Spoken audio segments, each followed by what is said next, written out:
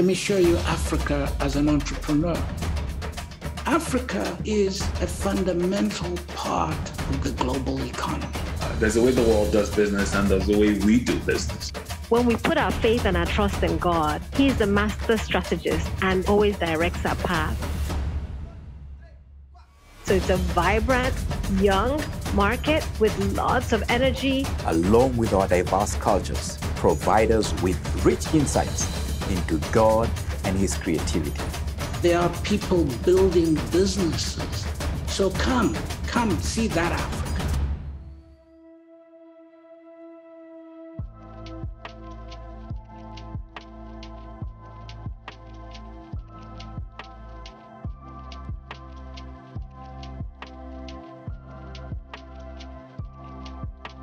A lot of the work we do at Leap Africa revolves around transforming Africa by equipping and empowering the next generation of leaders on the continent. One way this happens is through excellent work, and entrepreneurs have a unique opportunity to contribute to the flourishing of their own generation and of those to come. Faith driven entrepreneurs, especially, should be pursuing excellence in all they do. Why? Because our God is a God of excellence. Think of all the beautiful things He has created Victoria Falls, Mount Kilimanjaro, and the beautiful beaches of the Atlantic Ocean. God never takes shortcuts, He never underperforms. He seeks out excellence in all He does. As people made in His image, are we not called to do the same thing? Sure, we'll have moments where we stumble, but the pursuit of excellent work that blesses people is at the heart of faith driven entrepreneurship. We see that pursuit clearly in this next story. This is a group that strives for excellence in their work, and I hope the story inspires you to do the same. Let's check it out. If you want to look for example of how businesses are run, people typically will mention cost. How founder has been able to delegate, because it's a challenge of a lot of founders of businesses. They tend to hold everything to themselves, including the vision, including the dream, strategy.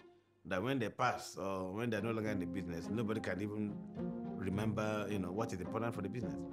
He has proven that it doesn't matter where you've started from, it's where you're going that matters. And so young people look at him as an example to say, yeah, his English is not perfect, his educational pursuits are not perfect, but he has exceeded all expectations and all limitations placed on him because he believed and he put his faith firmly in a God of miracles and a God who's a faithful father to those who commit their trust and their lives to him. My dad and my mom are mom and dad primarily before I, as a kid, before you know about the outside life or the outside world, I knew for the longest time that we were Christians before I knew we were wealthy.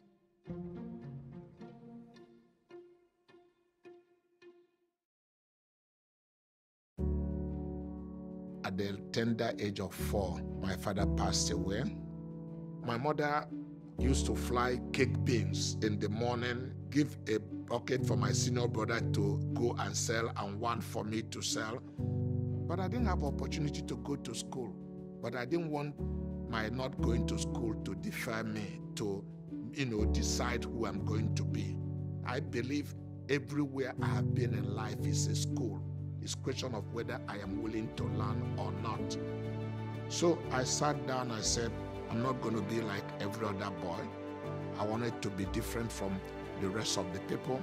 I wrote five things I wanted to do, stuck it on top of my bed. I pray every night before I sleep. Those are the things I look up like this and look them up from up down. And I go to bed and sleep.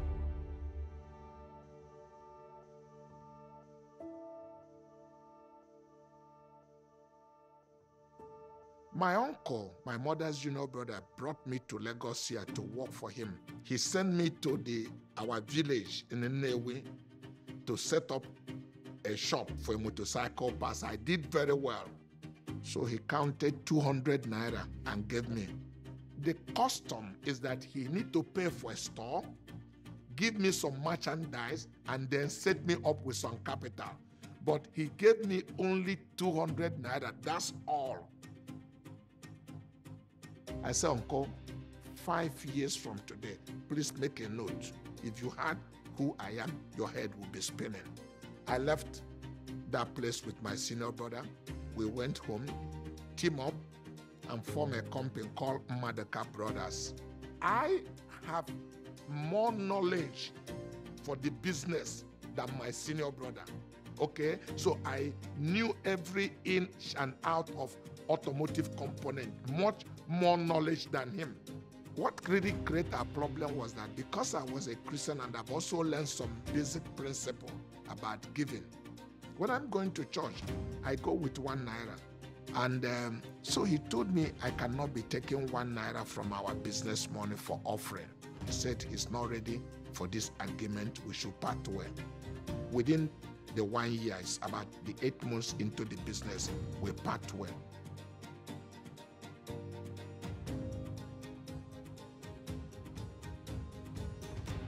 Before the end of my 18, I find a young lady in our church in a choir. Uh, her name is Charity. She asked me, Where am I taking her? I shared my vision with her. I told her, This is where I'm going to be by 21, 24. And she said, I support you. We'll do it together. But it was clear in my mind where I wanted to be in life. Because it's a journey of a voyage. I saw the destination, but all the route that would take me there was not known to me. We started head hunting, getting experts, people who have gone to university, who know how to manage business in a more structured manner. In 1982, I incorporated Coscharis. Coscharis is Cosmas and Charity. We are coming from a Christian background. We pray here before we start business in all our branches, wherever we are. And we are not apologetic about it to let people know this is who we are because that is our source. Coscharis was started by a dynamic entrepreneurial couple, Cosmas Maduka and his wife Charity Maduka, many, many years ago. I think they were started this about 32 years ago. Um, and it's really now a group that has investments in tech, agriculture, automotive, a range of sectors, construction even.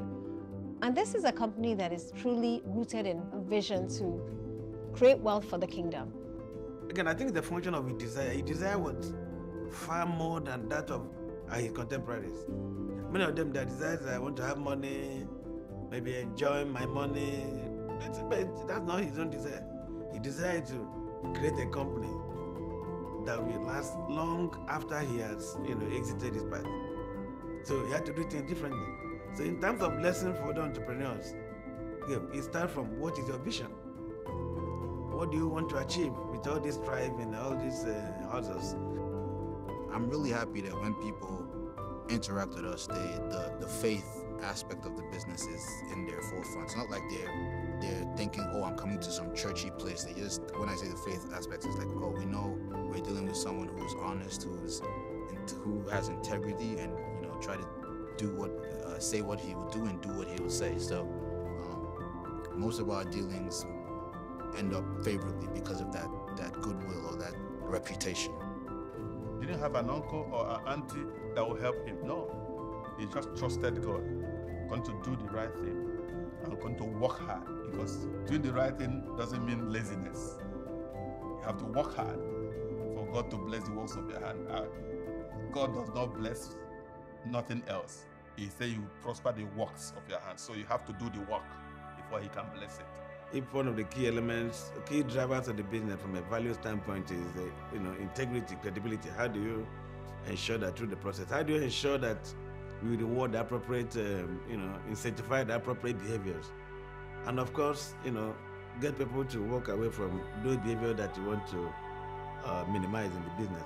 And so everything we do rests on the fact that we want to show the light to do it the right way, to show the people that look, you can do the right thing and still make money. You don't have to make money only when you do the wrong thing. Cosmas introduced one of his King's townsmen from Nnewi to a bank, Access Bank, where he had a seat on the board where he was a major shareholder. Um, and a verbal introduction um, to the bank. And this individual took a loan. The first loan he paid back, the second loan he paid back, and the third loan he defaulted, and it was worth millions of dollars. And Cosmas, because of his personal integrity and because he was the one who introduced this individual to the bank, essentially took upon himself to repay the debt because of his integrity, not because he had any financial or fiduciary responsibility, but because his name was on the line. I oversee finance. I want money to flow in. The people tell me, sorry, Fred, you want money to flow in, but your costs are high. My costs are high because I want to follow the right principle, bring the goods through the ports, pay the duty, follow all the protocols, and I can tell you it's not easy. It's expensive. It's easier to follow the other way. I won't say it's only us that do that, but there are few that follow that route, especially in automobile business in Nigeria. And today, because of his integrity, basically can get loans without any collateral, without any requirement, because people know his name and his commitment to integrity supersedes anything else. Now, that dispels all the reputational issues associated with being Nigerian. Most people think of Nigerian businessmen and they often think about fraud. Sadly, Cosmas is just one of the many examples of exemplary Christian entrepreneurs from this region who walk the talk um, and who take bold steps to live for God and work for God. Decisions you make today determine who you are going to be in the next five years to come. As a matter of fact, decisions you make today will determine your internal destination. But you must take responsibility. You won't put it on your father or your mother. It's your own decision. Life thrown everything to me not to succeed. But I was determined that I'm going to succeed and I'm going to go places. Vision help you to simplify your life. So the real truth is that quite a number of people are live visionless life. Okay, so it, it, to to live a life without vision is worse than not having a physical sight because you if, if you don't know where you are going, any wind will be the right wind. You keep drift, you keep drifting, you keep drifting. But you got to be sure this is the harbor that I'm seeking. Then you can direct the wind to go to that harbor. But in the midst of it, God will give you, provide you a way to be able to go. Those things are part of your uh, processes you are going through to refine you, to, you know, to, you know, clean you up, to, you know, get you matured for the main thing where you are going.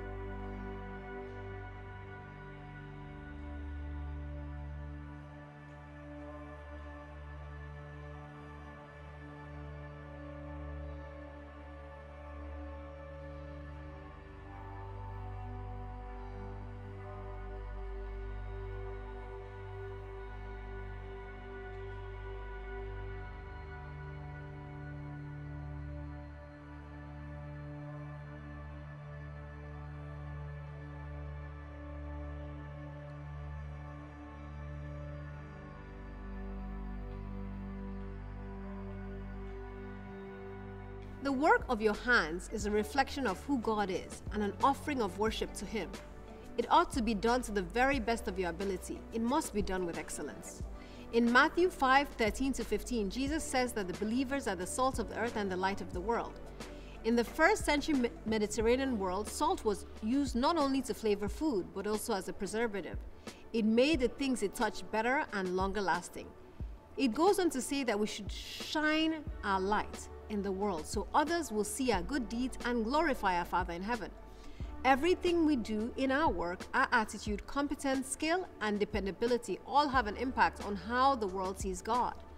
We're not talking about perfection here. In the book of Daniel, we read several times that he was a man with an excellent spirit. He still had made mistakes, he still sinned, but what stands out about Daniel is his relentless commitment to doing what was right in God's sight his diligence in acquiring knowledge and skill, and the integrity with which he went about his work. That's excellence, a wholehearted commitment to obeying and pleasing God, outworked through a consistent pursuit of diligence and integrity in everything we do. In Colossians 3 23 to 24, the Apostle Paul says the following Whatever you do, work at it with your heart, as working for the Lord, not for the human masters since you know you will receive an inheritance from the Lord as a reward. It's the Lord Christ you are serving. He says pretty much the same thing in Ephesians 6 5 to 8, but emphasizes that excellence means that you're doing your best, even when no one is watching, and there's no one's favor to be gained. As an entrepreneur, you're not just serving your customers and investors, but God Himself. Your work is for the Lord and is an offering to God. Does your work reflect this? Excellence extends into your workplace culture, your reputation, your products. The standards you set for quality, timeliness, integrity, and respect for people and the environment will directly impact the values and behavior of your employees, business partners, and investors. And as you do this faithfully, you can create an environment where conversations about faith can take place naturally. Excellence doesn't just happen, it's the result of continued obedience. When you set your course with the glory of God as your destination and wholeheartedly stick to it through the good times and the bad, the quality of your work will increasingly reflect the excellence befitting an ambassador of God's kingdom. And as the conviction grows in your heart that as believers, our excellence serves those around us and glorifies the God who is above us, you will experience a greater measure of joy in the fruit of your labor. How are you prioritizing excellence in your work and through your business? Take some time to talk about this with your group and use these discussion questions to help guide your conversations.